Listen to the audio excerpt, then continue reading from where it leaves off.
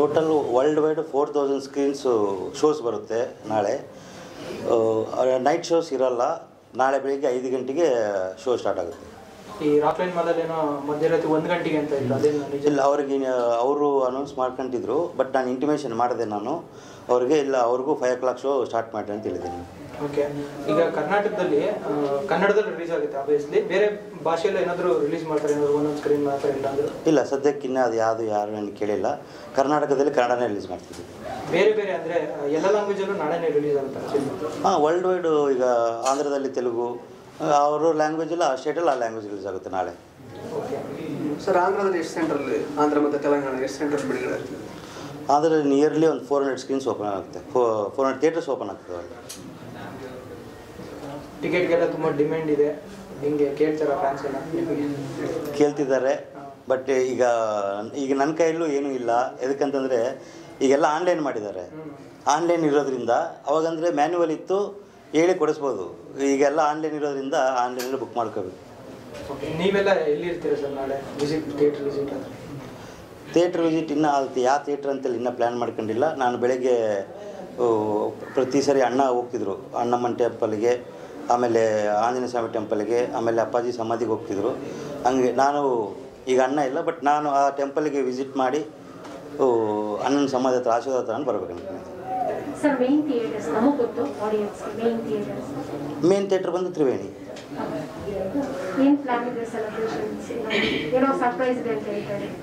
ಸಾಯಂಕಾಲ ರಿವೀಲ್ ಮಾಡ್ತೀವಿ ಮೇಡಮ್ ಒಂದು ಸಿಕ್ಸ್ ತರ್ಟಿ ಸೆವೆನಿಗೆ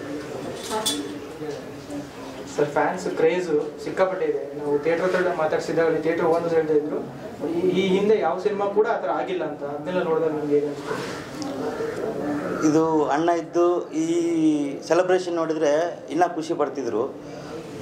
ಬಟ್ ಫ್ಯಾನ್ಸ್ ಎಲ್ಲ ಸೆಲೆಬ್ರೇಟ್ ಚೆನ್ನಾಗಿ ಮಾಡ್ತಿದ್ದಾರೆ, ಸಿಕ್ಕಾಪಟ್ಟೆ ಸಪೋರ್ಟ್ ಮಾಡ್ತಿದ್ದಾರೆ ಪ್ರತಿಯೊಂದು ವಿಷಯಕ್ಕೂ. ಎಲ್ಲ ಪ್ರತಿಯೊಂದು ಊರಲ್ಲಿ ಕೂಡ ಫೋನ್ ಮಾಡಿ ಅಪ್ಡೇಟ್ ಮಾಡ್ತಿದ್ದಾರೆ. ನಮ್ದು ಹಣ ನಮ್ಮ ಊರಿಗೆ ಕಟ್ವಾಟ್ರ್ ಬಂತು ನಾವು ಹಾಕಿದ್ದೀವಿ ಅಂತ ವಾಟ್ಸಪ್ ಹಾಕಿ ಇದು ಮಾಡಿದ್ವಿ ಇದು ಮಾಡಿದ್ವಿ ಅಂತ ಹಾಕ್ತಿದ್ದಾರೆ. ಭಾಳ ಖುಷಿ ಆಗ್ತಿದೆ ನಮಗೆ. ಅಣ್ಣ ಇದ್ದಿದ್ರೆ ಈ ಸೆಲೆಬ್ರೇಷನ್ ನೋಡಿ ಇನ್ನೂ ಫುಲ್ ಖುಷಿ ಆಗ್ತಿದ್ರು.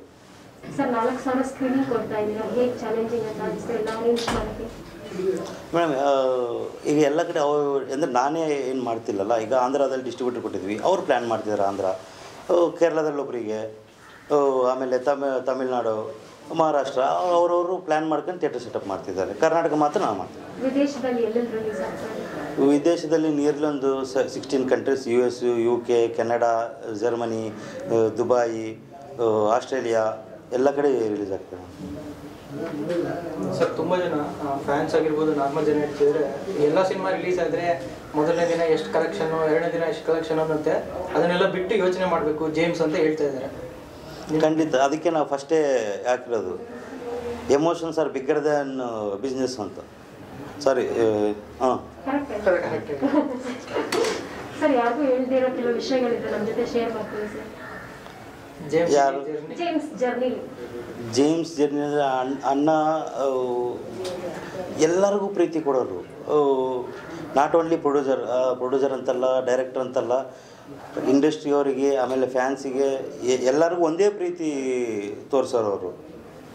ಬಟ್ ಒಂದು ಮಾತು ಹೇಳಿದರು ಲಾಸ್ಟಿಗೆ ಒಂದು ಸರಿ ಅಭಿಮಾನಿಗಳು ದೇವರು ಅಂತೇಳಿ ನಾನು ಎದೆ ಮೇಲೆ ಬರ್ಕೋಬೇಕು ಅಂದ್ಕೊಂಡಿದ್ದೀನಿ ನಾನು ಬರ್ಸ್ಕೊಂತೀನಿ. ಈ ಶೂಟಿಂಗ್ ಈ ಮುಗಿದ ಮೇಲೆ ಫ್ರೀ ಇರ್ತೀನಲ್ಲ ಅವಾಗ ಬರ್ಸ್ಕೊಂತೀನಿ ಅಂತ ಹೇಳ್ತಿದ್ರು ಅಣ್ಣ. ಟ್ಯಾಟೂ ಹಾಕ್ಸ್ಬೇಕಂತಿದ್ರು ಎದೆ ಮೇಲೆ. ಒಂದ್ಸರಿ ಒಂದು ಸರಿ ಹೇಳಿದ್ರು ಲಾಸ್ಟಿಗೆ. ಯಾವಾಗಂದರೆ ಈ ಶೂಟಿಂಗ್ ಎಲ್ಲ ಮುಗಿದ್ಮೇಲೆ ಫ್ರೀ ಇರುತ್ತೆ. ಯಾಕಂದರೆ ಅದು ಟ್ಯಾಟು ಮಾಡಿಸ್ಕೊಂಡ್ರೆ ಮಿನಿಮಮ್ ತ್ರೀ ಫೋರ್ ಡೇಸ್ ಅಂತೂ ಪೇನ್ ಇದ್ದೇ ಇರುತ್ತೆ. ಹಂಗಾಗಿ ಅಣ್ಣ ಶೂಟಿಂಗ್ ಒಂದು ವಾರ ಗ್ಯಾಪ್ ಇದ್ದಾಗ ಒಂದು ಸರಿ ನಾನು ಬರೆಸ್ಕೊಂತೀನಿ. ಎದೆ ಮೇಲೆ ಬರೆಸ್ಕೊಂತೀನಿ. ಅಭಿಮಾನಿಗಳು ದೇವರು ಅಂತೇಳಿ ಇಲ್ಲ ಅದು ಬ್ಯಾಲೆನ್ಸ್ ಏನೂ ಇಲ್ಲ. ಬರೀ ಒಂದು ಸಾಂಗ್ ಮಾತ್ರ ಬ್ಯಾಲೆನ್ಸ್ ಇತ್ತು.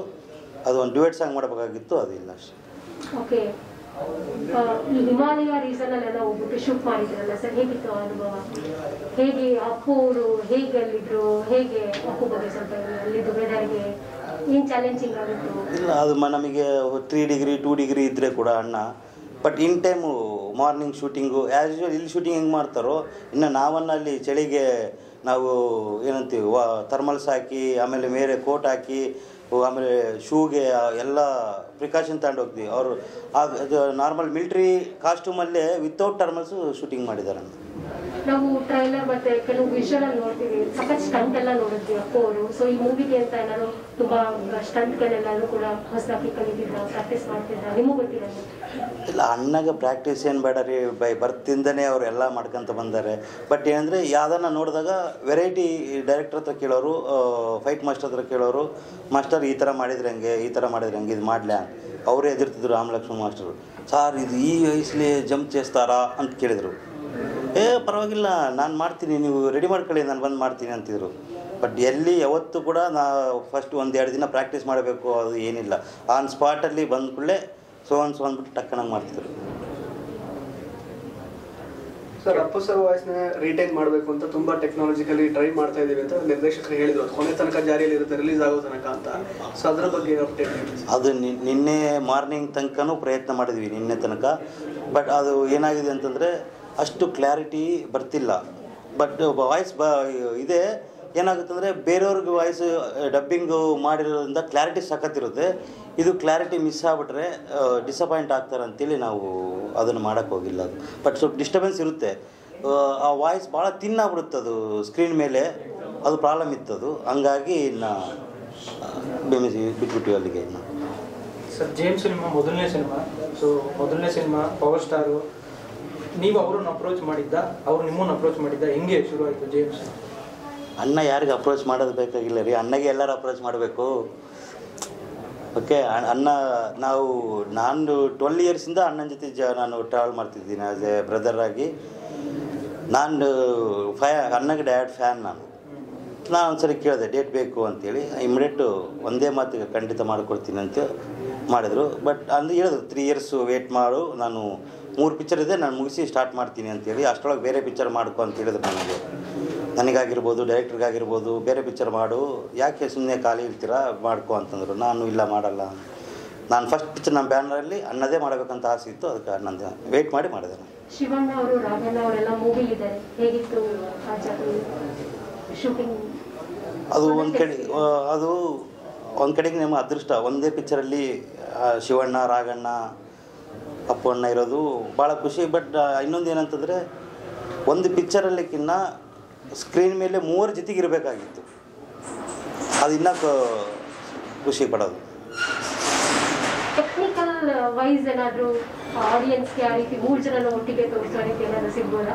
ಅಂದರೆ ಅದು ಸನ್ನಿವೇಶ ಇಲ್ಲ ಹಂಗೆ ತೋರಿಸ್ಲಿಕ್ಕೆ. ಹಂಗಾಗಿ ಅಂದರೆ ನಾವು ಏನೋ ಮಾಡಿ ತೋರಿಸ್ಬೇಕು ಅನ್ನೋದು ಚೆನ್ನಾಗಿರಲ್ಲ. ಬಟ್ ನಮಗೆ ಸಿನಿಮಾಗೆ ಏನು ಬೇಕೋ ಅದು ಫುಲ್ಫಿಲ್ ಇರುತ್ತೆ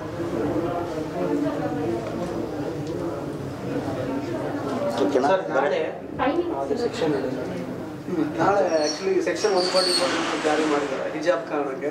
ಸೊ ಅಭಿಮಾನಿಗಳು ಸುಮಾರು ಪ್ಲಾನ್ ಮಾಡಿದ್ದಾರೆ ಆಕ್ಚುಲಿ ಹೆಲಿಕಾಪ್ಟರ್ಲಿ ಹೆಲಿಕಾಪ್ಟರ್ ಅಲ್ಲಿ ಪುಷ್ಪಾರ್ಚನೆ ಮಾಡಬೇಕು ಅಂತಲ್ಲ.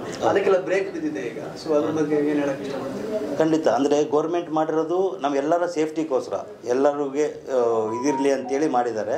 ಬಟ್ ಒಳ್ಳೆ ಡಿಸಿಷನ್ ಆದರೂ ಫ್ಯಾನ್ಸಿಗೆ ಡಿಸಪಾಯಿಂಟ್ ಆಗುತ್ತೆ. ನಮಗೂ ಬೇಜಾರಾಗ್ತಿದೆ ಒಂದು ಕಡೆಗೆ. ಅಂದರೆ ಇದೇ ಟೈಮಲ್ಲಿ ಒನ್ ಫಾರ್ಟಿ ಫೋರ್ ಆಯ್ತಲ್ಲ ಅಂತೇಳಿ. ಬಟ್ ಅದನ್ನೆಲ್ಲ ಎಂಜಾಯ್ಮೆಂಟ್ ಅನ್ನೋದು ಸಿನಿಮಾ ನೋಡಿ ಅವ್ರು ಎಂಜಾಯ್ ಮಾಡ್ತಾರೆ ಅಲ್ಲ ಅಂದ್ರೆ ಹಿಜಾಬ್ ಆಕ್ಚುಲಿ ವಿವಾದ ಒಂದು ತಿಂಗಳಿಂದನೇ ಇತ್ತು ಅವಾಗ ಜಾಸ್ತಿ ಇತ್ತು ಕಂಪ್ಯಾರಿಟಿವ್ಲಿ. ಇವಾಗ ಏನಿಲ್ಲ ಈಗ ಹೈಕೋರ್ಟ್ ಇದೆಲ್ಲ ಬಂದಿದೆ. ಈಗ ಅದು ಬೇಕಿತ್ತು ಅವಶ್ಯಕತೆ ಇತ್ತ ಅಂತ ಅಭಿಮಾನಿಗಳು ಕೇಳ್ತಾ ಇದ್ದಾರೆ ಆಕ್ಚುಲಿ ರಿಲೀಸ್ ಟೈಮಲ್ಲಿ ಕರೆಕ್ಟ್ ಅಂದರೆ ನಾನು ಏಕೆಂದರೆ ಅಷ್ಟು ದೊಡ್ಡ ಸ್ಟೇಟ್ಮೆಂಟ್ ಕೊಡೋಷ್ಟು ವ್ಯಕ್ತಿ ಅಲ್ಲ ಅದು ಗೌರ್ಮೆಂಟ್ ಡಿಸಿಷನ್ ತಗೊಂಡಿದೆ. ಓಕೆ ಗೌರ್ಮೆಂಟಿಗೆ ಎಲ್ಲರೂ ಸಪೋರ್ಟ್ ಮಾಡ್ರಿ ಅಂತ ಹೇಳ್ತೀನಿ ಅಷ್ಟೇ. ಸರ್ ಜೇಮ್ಸ್ ನೋಡಿದ ತಕ್ಷಣ ಹೇಗೆ ಸರ್ ನಿಮಗೆ? ನಾನು ಫಸ್ಟ್ ಹಾಫೇ ನಾನು ಒಂದು ಹತ್ತು ಇಂಟ್ರೂ ಹತ್ತು ಇಂಟ್ರವಲ್ ಆಗಿದೆ ನನಗೆ ಓ ಫಸ್ಟ್ ಹಾಫ್ ನೋಡೋದ್ರಲ್ಲಿ ಹತ್ತು ಇಂಟ್ರವಲ್ ಅಂದರೆ ನಾನು ನೋಡೋಕ್ಕಾಗ್ತಿಲ್ಲ ನನಗೆ. ಹೋಗಿ ಐದು ಹತ್ತು ನಿಮಿಷ ನೋಡ್ತೀನಿ ಮತ್ತು ಅಳುವು ತಡ್ಕೊಳಕ್ಕಾಗಲ್ಲ ಬಂದುಬಿಡ್ತಿದ್ದೆ ನಾನು. ಒಂದು ಹತ್ತು ಹದಿನ ಆದ್ಮೇಲೆ ಒಂದು ಟೂ ತ್ರೀ ಡೇಸ್ ಅಂದ್ರೆ ಮತ್ತೆ ಪಿಕ್ಚರ್ ನೋಡಿದೆ. ನೀವು ಲಾಸ್ಟ್ ಟೈಮ್ ಅಪ್ಪು ಸರ್ನ ಮೀಟ್ ಮಾಡಿದ್ದೆ ಅವ್ರು ಇದಾಕಿ ಹಿಂದಿನ ದಿವಸ ಕಂಟಿನ್ಯೂ ಎವ್ರಿ ಡೇ ನಾನು ಜೊತೆಗೆ ಇರ್ತಿದ್ದೆ ನಾನು. ಲಾಸ್ಟ್ ತ್ರೀ ಡೇಸ್ ಅಂತೂ ಬೆಳಗಿಂದ ಈವ್ನಿಂಗ್ ತನಕ ಜೊತೆಗೆ ಇರ್ತಿದ್ದೆ ನಿಮ್ಮ ಮೊದಲನೇ ಮೂವಿ ಅಪ್ಪು ಸರ್ ಲಾಸ್ಟ್ನೇ ಮೂವಿ ಆಗೋದು ಸೊ ಅದು ಅದನ್ನ ನೆನ್ಸ್ಕೊಂಡಾಗ ಏನು ಅನ್ಸುತ್ತೆ ಸರ್ ಅದೇ ಬ್ಯಾಡ್ ಲಕ್ ಮೇಡಮ್ ನಮ್ಮದು ಎಷ್ಟು ಇಷ್ಟಪಟ್ಟೆ ನಾನು, ಅವ್ರ ಜೊತೆಗೆ ಫಸ್ಟೇ ಮಾಡ್ಬೇಕಂತೇಳಿ ಬಟ್ ನಮ್ಮದೇ ಲಾಸ್ಟ್ ಆಯ್ತಲ್ಲ ಅಂತೇಳಿ ಭಾಳ ಬೇಜಾರು. ಈಗ ನೆಕ್ಸ್ಟ್ ಇಯರ್ ಇನ್ನೊಂದು ಪಿಕ್ಚರ್ ಮಾಡೋಣ, ಒಳ್ಳೆ ಕಾಂಬಿನೇಷನ್ ಮಾಡಿ ಮತ್ತೆ ಮಾಡೋಣ, ಎಲ್ಲ ಪ್ಲ್ಯಾನ್ ನಡೀತಾ ಇತ್ತು. ಅಪ್ಪು ಸರ್ ನಟನೆನ ಶಿವಣ್ಣ ವಾಯ್ಸಲ್ಲಿ ನೋಡಿದಾಗ ನಿಮ್ಗೆ ಹೇಗೆ ಅನಿಸ್ತು? ಸಿಂಕ್ ಆಗ್ತಿತ್ತ? ಚೆನ್ನಾಗಿ? Hundred percent. ಅವು ಅವ್ರು ಬಿಟ್ಟರೆ ಇನ್ನು ಯಾರೂ ಅದು ಫುಲ್ಫಿಲ್ ಮಾಡೋಕ್ಕಾಗಲ್ಲ. ಯಾವ್ದು ಹೆಂಗೆ ಆ ಪಿಕ್ಚರ್ ನೋಡ್ತೀನಿ ಹೆಂಗಿತ್ತು ಅಂದರೆ ಹರಿಹರಣ ಮಿಲನ ಹೆಂಗಿರುತ್ತದೋ ಹಂಗಿರ್ತದೆ ಸಿನಿಮಾದು ಶಿವಣ್ಣ ಅವ್ರದ್ದು ರಿಯಾಕ್ಷನ್ ಏನಿತ್ತು ಸರ್? ಅದು ಡಬ್ ಮಾಡ್ಬೇಕಾದ್ರೆ? ಆದರೆ ಸಿಕ್ಕಾಪಟ್ಟಿ ಬೇಜಾರು ಪಟ್ಕೊಂಡ್ರಿ ಫಸ್ಟ್ ಅಣ್ಣ. ಅಂದರೆ ಈ ಸಿಚುವೇಶನ್ ಬರಬಾರ್ದಾಗಿತ್ತು ನಮಗೆ ಅಂತೇಳಿ. ಬಟ್ ಹಂಡ್ರೆಡ್ ಪರ್ಸೆಂಟು ನ್ಯಾಯ ಮಾಡಿದ್ದು ಶಿವಣ್ಣ ಇದಕ್ಕೆ ವಾಯ್ಸ್ ಅನ್ನೋದು. ಅವ್ರು ಬಿಟ್ಟರೆ ಯಾರೂ ಮಾಡೋಕ್ಕೆ ಸಾಧ್ಯನೇ ಇಲ್ಲ. ಯಾಕಂದರೆ ಪುನೀತಣ್ಣಂದು ಒಂಥರ ಯುನಿಕ್ ವಾಯ್ಸ್ ಅದು. ಅವ್ರನ್ನ ಮಿಮಿಕ್ರಿ ಮಾಡೋಕ್ಕೂ ಆಗಲ್ಲ ಏ- ಬೇರೆ ಇದು ಮಾಡೋಕ್ಕಾಗಲ್ಲ ಅದಕ್ಕೆ ಅದಕ್ಕೆ ನ್ಯಾಯ ಹೇಳ್ಬೇಕಂದ್ರೆ ಶಿವಣ್ಣ ಒಬ್ಬರೇ ಸರ್ ಅಶ್ವಿನಿ ಮೇಡಮ್ ಸಿನಿಮಾ ನೋಡಿದಾರ ಅಥವಾ ಅವರ ರಿಯಾಕ್ಷನ್ ಸ್ಟೋರಿ ಇಲ್ಲ ಅಥವಾ ಏನೋ ಸೀನ್ಗಳು ಯಾವುದಾದ್ರು? ಇಲ್ಲ ಫಸ್ಟು ಅವಾಗೆ ಅಣ್ಣಗೆ ಭಾಳ ಸಿಕ್ಕಾಪಟ್ಟೆ ಇಷ್ಟ ಆಗಿತ್ತು ಪಿಕ್ಚರ್ ಇದು. ಆಲ್ಮೋಸ್ಟ್ ಅಲ್ಲ ಎಲ್ಲ ಫೈಟು ಎಲ್ಲ ಸಾಂಗು ಎಲ್ಲ ಅವ್ರ ಮೊಬೈಲಲ್ಲಿದೆ ಅದೆಲ್ಲ ನೋಡಿದ್ದಾರೆ ಮೇಡಮ್ ಅವಾಗೆ ಡೇ ಒನ್ನಿಂದನೇ ಎವ್ರಿ ಡೇ ಮೇಡಮ್ಗೆ ಅಪ್ಡೇಟ್ ಇದೆ ಅವಾಗ ನೋಡಿದ್ದಾರೆ ಫುಲ್ ಪಿಕ್ಚರ್ ಆದಮೇಲೆ ಈಗ ವಿತ್ ಆರ್ ಆರ್ ಆದಮೇಲೆ ಇನ್ನೂ ಮೇಡಮ್ ನೋಡಿಲ್ಲ. ಮೋಸ್ಟ್ಲಿ ನೋಡ್ತಾರೆ ಯಾವಾಗ ನೋಡ್ತಾರೋ ಗೊತ್ತಿಲ್ಲ. ಯಾರು? ಮೇಡಮ್ ಈಗ ನನಗೆ ನಾನು ಬರೋ ಸನ್ಸ್ಕ್ರೀನಾಗಿ ಎಡಿಟಿಂಗ್ ಆದಮೇಲೆ ನನಗೆ ನೋಡೋಕ್ಕಾಗಿಲ್ಲ. ನನಗೆ ಗೊತ್ತಿದ್ದಂಗೆ ಮೇಡಮ್ಗೆ ಡೈಜೆಸ್ಟ್ ಆಗಲ್ಲ. ನಮಗೆ ಆಗ್ತಿಲ್ಲ. ಅವ್ರಿಗೆ ಇನ್ನೂ ಭಾಳ ಕಷ್ಟ ಇರುತ್ತೆ ರಾಗಣ್ಣ ರಾಘಣ್ಣ ಏನೋ ಥಿಯೇಟ್ರಿಗೆ ಹೋಗ್ತೀನಿ ಅಂತಂದರು. ಮೋಸ್ಟ್ಲಿ ವೀರೇಶ್ ಹೋಗ್ತಾರೆ ಇಲ್ಲಿ ಹೋಗ್ತಾರೆ ಗೊತ್ತಿಲ್ಲ. ಶಿವಣ್ಣ ಮೈಸೂರಲ್ಲಿ ಇರ್ತಾರಂತೆ. ಮೈಸೂರಲ್ಲಿ ಪಿಕ್ಚರ್ ನೋಡ್ತೀನಿ ಅಂತ ಹೇಳಿದ್ರೆ ನಾನು ಮೇನ್ ಥಿಯೇಟ್ರಿಗೆ ಹೋಗ್ತೀನಿ ತ್ರಿವೇಣಿ.